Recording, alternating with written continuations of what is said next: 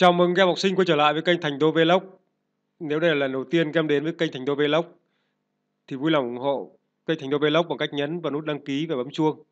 Các em nhớ là có bấm chuông thì mỗi khi kênh Thành Đô Vlog đăng tải video lên, các em sẽ là những người đầu tiên nhận được những video mới nhất từ kênh Thành Đô Vlog. Rồi bây giờ mời các em mở sách và bài tập tiếng Việt lớp 5 tuần 11 trang 78 tập nằm văn luyện tập nằm đơn. Đề bài hãy viết ra đơn theo một trong hai đề bài ở sách tiếng Việt 5 tập 1 trang 111 112 hoặc đề bài do thầy cô hướng dẫn. Chú ý trình bày đơn theo đúng quy định.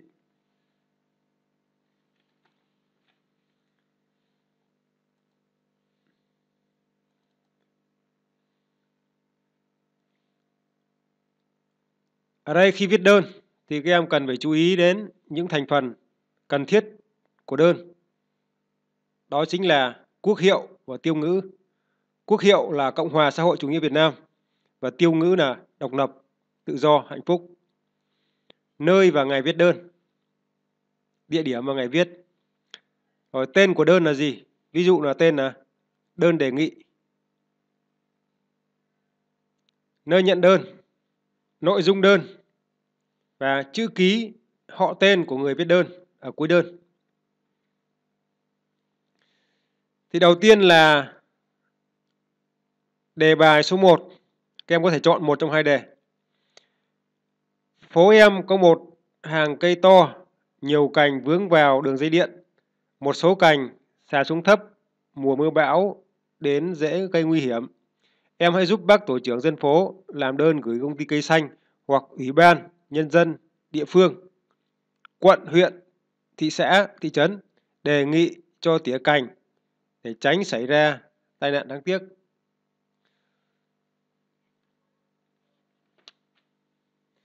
Thì các em chú ý là trình bày đơn đúng quy định này. Các thành phần của đơn đầy đủ này như là quốc hiệu tiêu ngữ, nơi và ngày viết đơn này, tên của đơn, nơi nhận đơn, nội dung đơn, chữ ký và họ tên của người viết đơn ở cuối đơn. Nội dung của đơn là các em phải giới thiệu bản thân, trình bày tình hình thực tế, nêu lên những tác động xấu đã xảy ra hoặc là có thể xảy ra, kiến nghị cách giải quyết và cuối cùng là phải có lời cảm ơn. Và như vậy các em có thể tham khảo đề số 1 như sau. Đầu tiên là quốc hiệu tiêu ngữ này. Quốc hiệu Cộng hòa xã hội chủ nghĩa Việt Nam. Tiêu ngữ là độc lập, tự do, hạnh phúc. Rồi, địa điểm, ngày tháng năm viết đơn. Tên đơn là đơn đề nghị. Nơi tiếp nhận đơn, kính gửi ban lãnh đạo phường, phường bao nhiêu, thành phố nào, hay là kính gửi ban lãnh đạo huyện thuộc tỉnh nào. Tên tôi là tên của người viết đơn, họ tên đầy đủ của người viết đơn. Rồi sinh ngày, ví dụ là bác tổ trưởng dân phố sinh ngày 14 tháng 6 năm 1969 chẳng hạn. Chức vụ là tổ trưởng tổ dân phố, phố nào. Tôi làm đơn này xin trình bày với ban lãnh đạo phường một số việc như sau. Hiện nay trên tuyến đường, tuyến đường nào thuộc tổ dân phố chúng tôi có rất nhiều cây lớn, một số cành cây mọc chĩa vào đường dây điện, một số cành cây xà xuống thấp, mùa mưa sắp đến. Để như vậy, dễ gây nguy hiểm cho người qua lại, làm đứt dây điện, ảnh hưởng tới việc tham gia giao thông. Vậy đề nghị ban lãnh đạo phường, phường nào, cho tỉa cành sớm để tránh những tai nạn đáng tiếc xảy ra.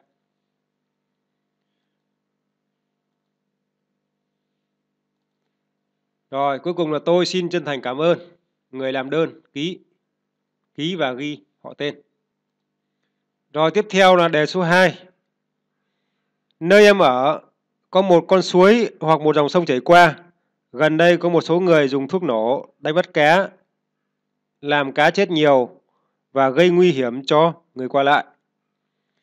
Em hãy giúp bác trưởng thôn hoặc tổ trưởng dân phố làm đơn gửi ủy ban, nhân dân hoặc công an địa phương, xã phường thị trấn đề nghị ngăn chặn việc làm trên để bảo vệ đàn cá và đảm bảo an toàn cho nhân dân.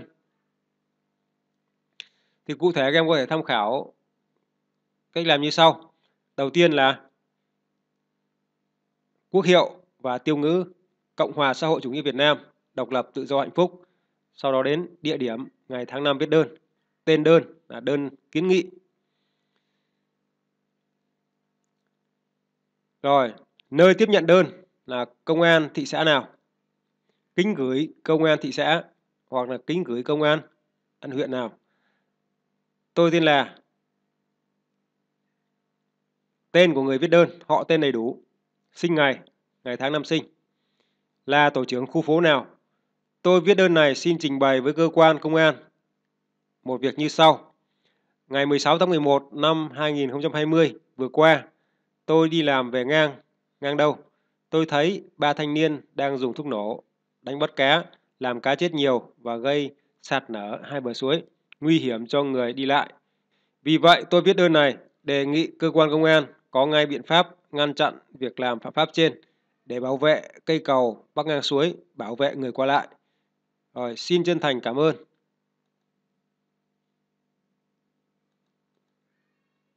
Người làm đơn, ký tên và viết rõ họ tên. Rồi như vậy là video hôm nay xin được kết thúc ở đây. Cảm ơn các em đã dành thời gian để theo dõi video.